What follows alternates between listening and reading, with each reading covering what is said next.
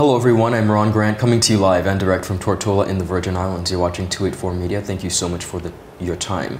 The BVI Film Commission and the H. Lavity Stoutt Community College recently conducted a film development workshop that was held from March 1st to the 30th. I'm joined by Film Commissioner Ms. Natalie Hodge and lead facilitator Ms. Enya Douglas who worked on this project to make sure that we, of course, touch base with you and share with you the amazing results of this development workshop. We'll be right back after a quick commercial break.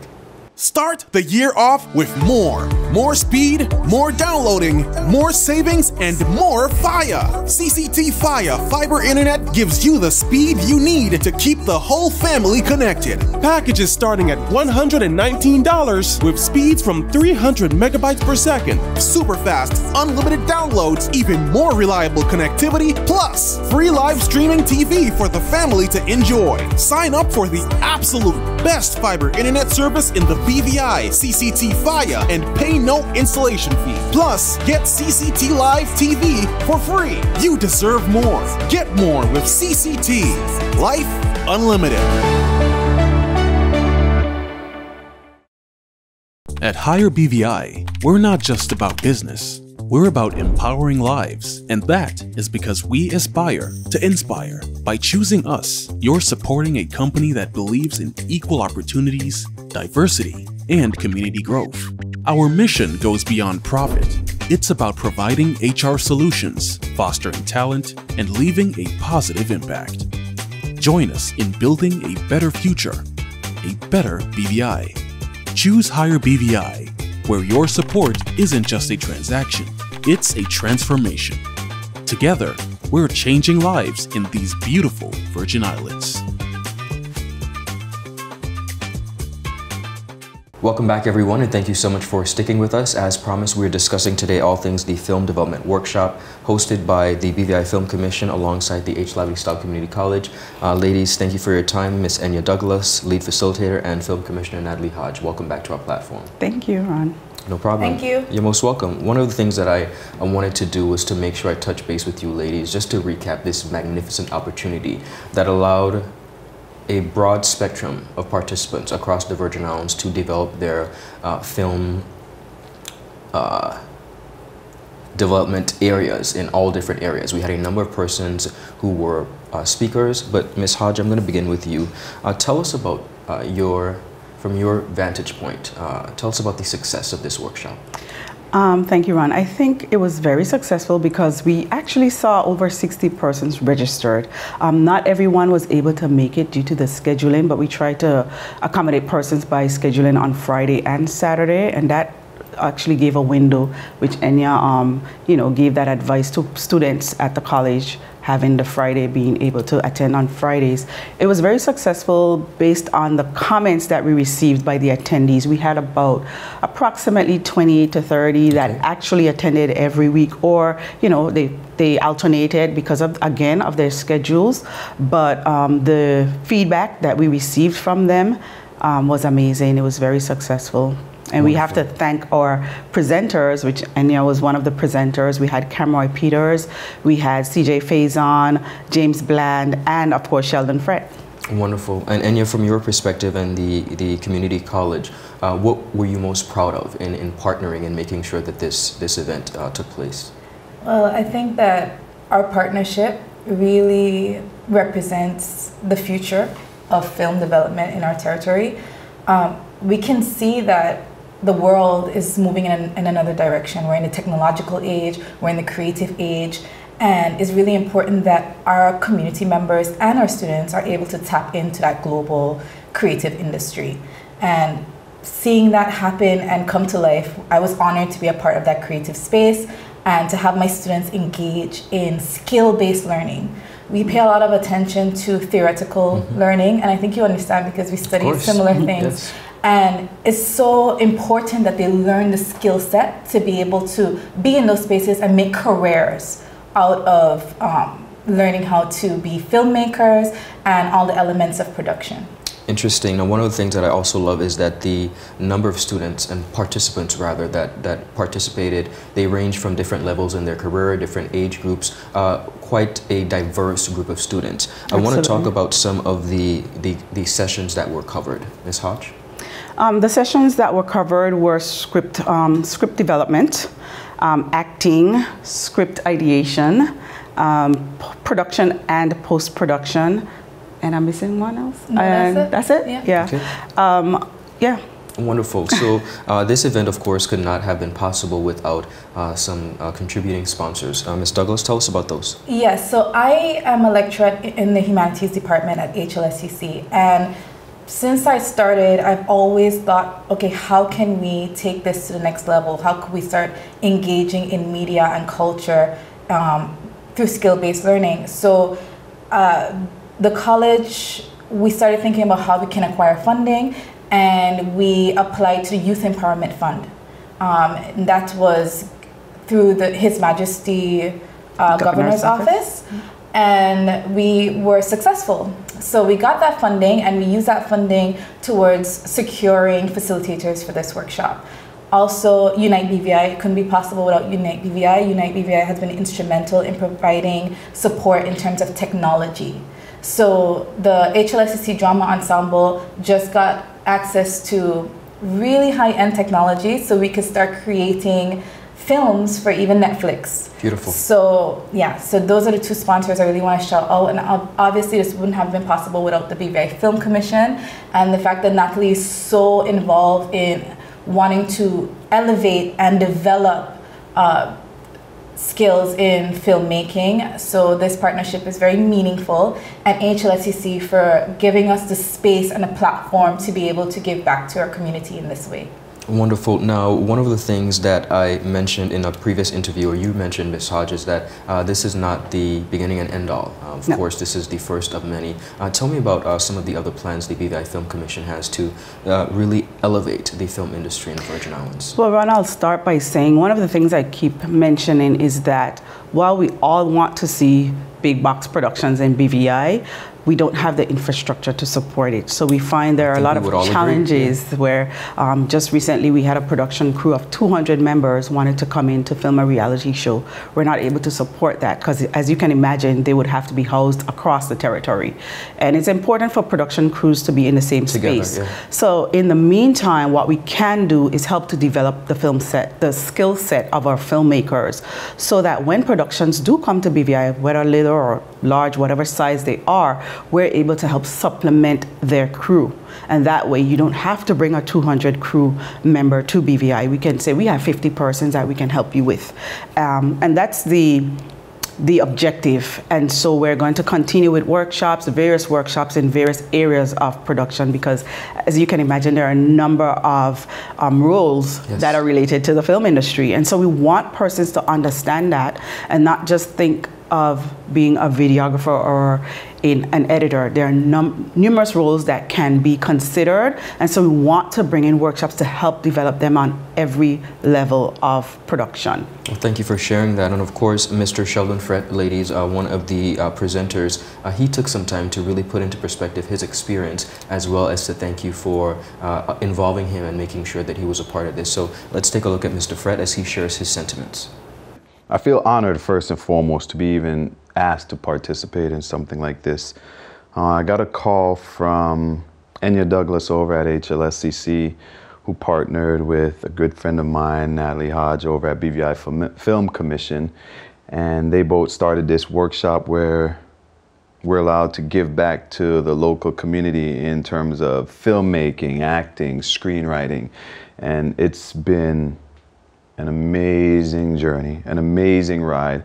I think selfishly enough, it's it's been more fulfilling for me because it was such a beautiful opportunity to be able to give back. I, I got to see people that are like me from where I'm from. I've, I've done teaching and workshops before in America, and it feels good to give back, but this one was a this one was on a different caliber of of being able to give back because I got to see kids that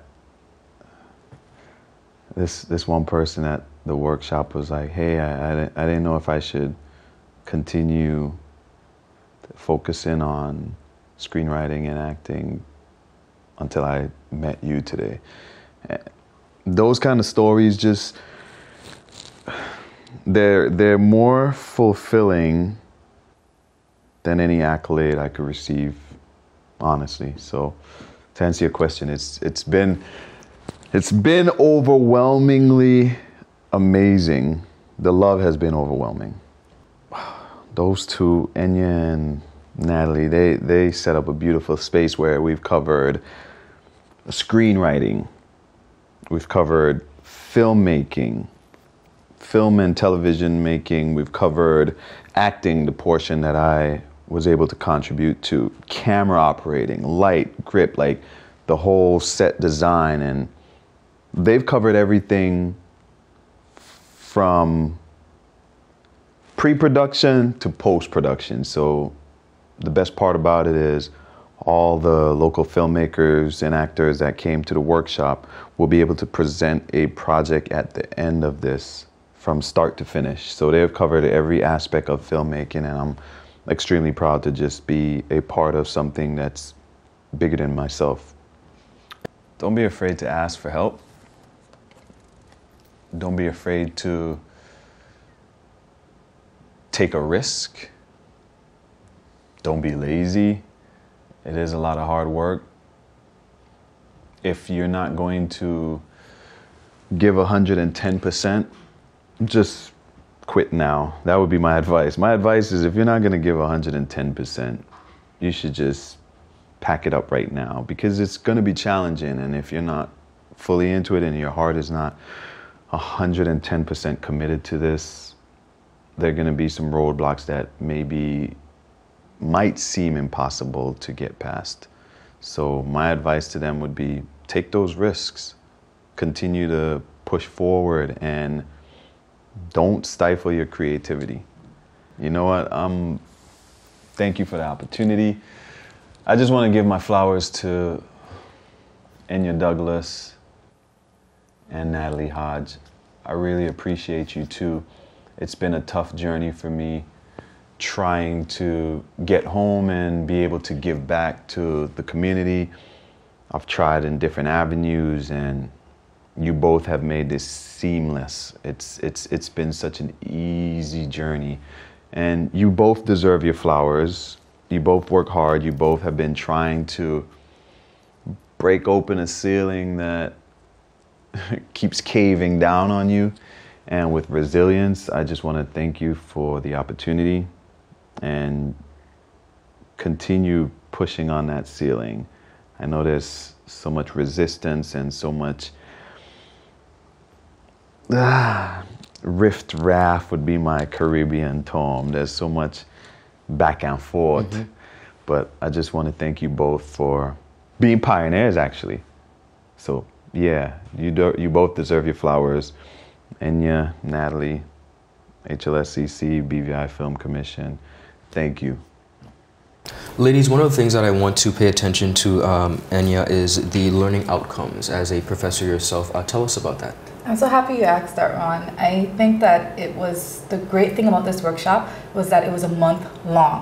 So we were able to measure their learning outcomes. So okay. they didn't just learn, but they were able to apply the knowledge. So what we had them do at the end of it was create a little teaser or sizzle, sizzle reel is what we call mm-hmm. it. And so that we were able to see if they were able to cover all the elements of storytelling and put to work the technical skills that they learned in the workshops. Understood. Now, one of the things that is really important is making sure that our filmmakers are not only prepared to by local standards uh, because one of the things that I think we sometimes measure ourselves uh, under the radar mm -hmm. and we, we, we, measure it by a local scale and that's not necessarily how it operates uh, because in, in the, the full, full scheme of things we would like persons to be able to trained, be trained enough to perhaps extend our talents uh, elsewhere.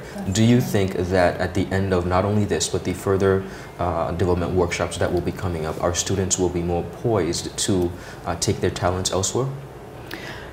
I think um, at the end of additional workshops, mm -hmm. they will be able to do so. And I think that will be ultimately the final goal is to make sure that our um, filmmakers here are able to present these workshops. But we want to make sure we bring in industry professionals to teach them. These professionals have been on set, they've produced Emmy nominated. Um, projects. And so we want to have that skill set brought in, teach them the elements. A lot of our filmmakers here have never been on set.